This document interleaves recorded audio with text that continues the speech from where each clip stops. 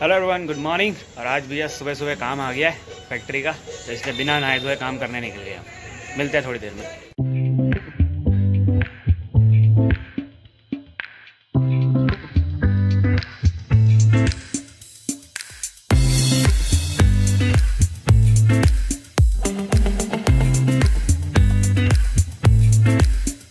Hello everyone welcome back to new vlog and very good morning to all of you पहले आपसे बिना नहाए बात करी थी, अब नहा के बात कर रहे हैं। ब्लैक कपड़े पहन के सेक्सी सुंदर, सुशील स्मार्ट मिलते अभी आपको।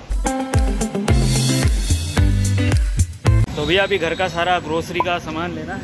आया मामा की दुकान पे। मतलब दुकान का नाम ही मामा स्टोर है। और, चाय, कॉफ़ी, ठंडा ये सब लेना है। ले लेते हैं, फिर आपसे बात करते हैं। गर्मी बहुत हो रही है यार, एक तो ब्लैक पहन के ज़्यादा गर्मी होती है। लेकिन लुक भी सेक्सी आता है।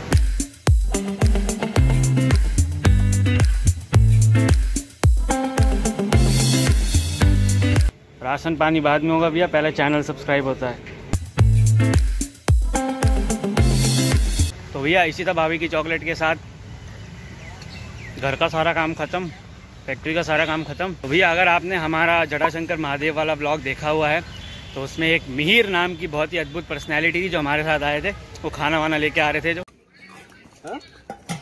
वो दिल्ली आ रखे। अब उन्होंने हमें राजकोट घुमाया जूनागढ़ घुमाया है सब खिलाया पिलाया वहाँ पे। अब दिल्ली आया तो हमारा हक बनता है ना उनको खिलाने पिलाने का। तो मीर भाई फ़ोन तो उठाओ, आपका फ़ोन लगा रहे फ़ोन नहीं लग रहा है। उठाओ फिर कुलचे, अमृतसरी नान, कुछ खिलाते हैं आपको। मोटा करके भेजेंगे यहाँ से। आपने हमें राजकोट से मोटा करके भेजा, हम आपको यहाँ से मोटा करके भेजेंगे। ये देखो भैया, यहाँ पे आज श्राद्ध भर भर के डाला हुआ है सबने। अब कूड़े वाला देखो, सब इकट्ठा करके चला गया। मतलब ये है, इंसानों को पता है, यहाँ पे इतना डला हुआ है, फिर भी यहीं डालेंगे, यहीं कूड़ा करेंगे। आप श्राद्ध के अलावा नॉर्मल डेज़ में होंगे ना यहाँ पे, मजाल है, दो बंदे भी यहाँ पे कुछ डालने आते हो। और जो आता होगा रेगुलर वो डालता होगा, लेकिन अभी तो कूड़ा ही कर देते हैं, बिल्कुल। इंसान की फितरत ही ऐसी है यार, जब किसी के पास कुछ नहीं होता तो कोई नहीं आता डालने। लाइक पक्षियों को पहले कोई खाना देता नहीं पूरे साल तो कोई आता नहीं है। और जब सब आ रहे हैं तो सब भर भर के दे रहे हैं। कोई खाने भी नहीं आ रहा है, ऐसे ही पड़ा हुआ, कल कूड़े की तरह उठ के चला जाएगा यहाँ से। और सेम भैया होता है क्रिएटर्स के साथ। जब वो नए नए होते हैं, उनको कोई सपोर्ट नहीं कर रहा होता, कोई उनकी वीडियो नहीं देखता है। कोई मतलब किसी तरह से कोई भी मतलब उनको सपोर्ट नहीं मिलता है। और जब थोड़े से सब्सक्राइबर गेन होने लगते हैं तो सब आके भाई बना लेते हैं, सब आके दोस्त बना लेते हैं।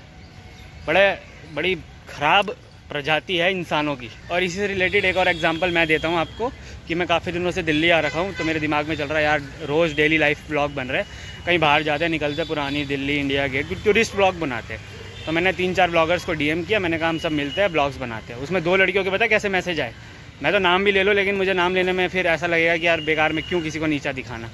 और ये वही लड़कियाँ है, जब इन्होंने यूट्यूब स्टार्ट किया, मुझसे पूछती थी कैसे अपलोड करते हैं, क्या सिस्टम होता है, क्या टाइटल रखता है थंबनेल कैसे बनाते हैं। और आज वो लड़कियाँ मुझे कह रही कि तेरा और मेरा लेवल मैच नहीं होगा। मेरे कुछ तेरह सौ सब्सक्राइबर्स है और उनके छः सात हज़ार है। लेवल मैच नहीं होगा।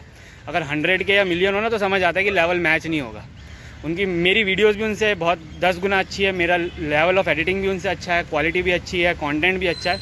लेकिन वही होता है भैया, लड़कियों के सब्सक्राइबर जल्दी बढ़ते हैं। उनके पास कंटेंट में दिखाने के लिए बहुत कुछ होता है। समझ रहे हो? समझ रहे हो समझ रहे हो ना? और ये भैया वो लड़कियाँ है जिनके छः सात हज़ार सब्सक्राइबर है। मैं तो सोच रहा हूँ उनके मिलियन में चले गए फिर ये तो अपने आप को दीपिका पादुकोण आलिया भट्ट समझने लगेगी। हाँ?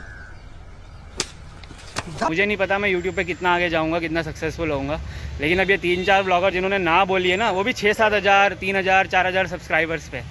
उनके नाम पे तो काटा लग चुका है परमानेंटली अब वो मुझसे हेल्प मांगे मेरे आगे आके मर जाए गिड़गिड़ाए मैं कभी हेल्प नहीं करूँगा उनकी। मतलब जब हेल्प चाहिए थी तो आशीष आशीष आशीष आशीष आशीष को कॉल कर दो मैसेज कर दो व्हाट्सएप कर दो, सब कर दो।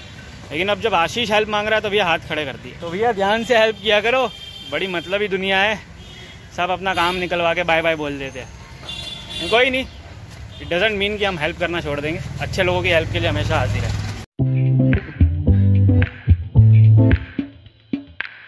तो भैया शाम होती हुई और हम जा रहे हैं दूध लेने। लो भाई। अबे बूम कर बूम अबे